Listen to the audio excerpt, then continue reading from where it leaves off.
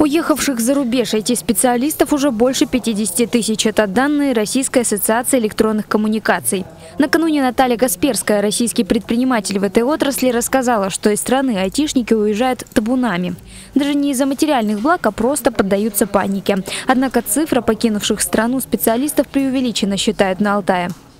Все обстоит не так масштабно. Из IT-компаний уехало специалистов, ну, может быть, 8 или 9 тысяч, там, 7, 8, 9 тысяч специалистов всего. Если брать отток фрилансеров, которые сами на себя работают, на иностранные компании в том числе, ну, допустим, еще добавить там тысяч 15. То есть э, вся общая история может быть около 20 тысяч. Мало что изменилось только у тех, кто работает в пределах России или на страны Востока. А те, кто сотрудничал с Европой, к примеру, не понимают, как получить зарплату. Но если он работал на западной компании, то в некоторых случаях у него в принципе не остается выбора. И то есть э, эти западные компании транслируют, что если вы остаетесь в России, мы, к сожалению, должны будем с вами завершить наши трудовые взаимоотношения. Да, зачастую предоставляется выбор, то есть предоставляют э, очень выгодные условия для переезда, вплоть до того, что обеспечивают э, жильем. Э, есть знакомая целая команда уехала в Черногорию. По словам Вадима Гладышева, только в его компании два человека на время переехали в Армению и Грузию. Другие айтишники в какой-то момент выдохнули после новостей о господдержке в виде льготных кредитов, нулевых налогов и отсрочки от армии.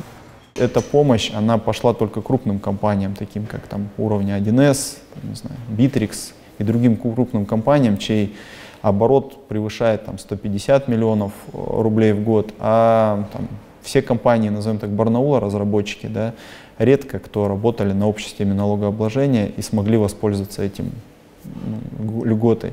Что касается льготных кредитов, то есть ну, на текущий момент ни один банк, то есть эти льготные кредиты выдавать не начал. Вот. Там то же самое там, с ипотекой. Да.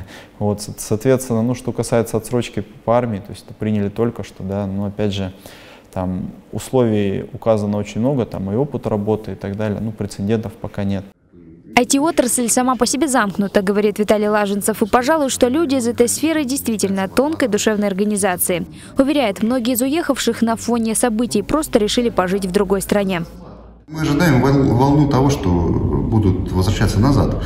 А, никто не ждет а, с распростертыми объятиями наших ребят за границей в любой стране. Ждут только высокопрофессиональных кадров, которые умеют делать сложные вещи и хорошо знают иностранные языки. Таких немного. А самых обычных ребят, ну нет. Они убедятся, что там как бы тоже не все так хорошо. Поэтому какой будет и будет ли вообще вторая волна оттока среди IT-специалистов – большой вопрос. Специалисты, в том числе уже упомянутая Касперская, говорят, что для восстановления ситуации нужны не столько материальные меры, а меры пропаганды, успокоения и другие пиар-мероприятия. Анна Рашагирова, Вадим Быстревский. День с толком.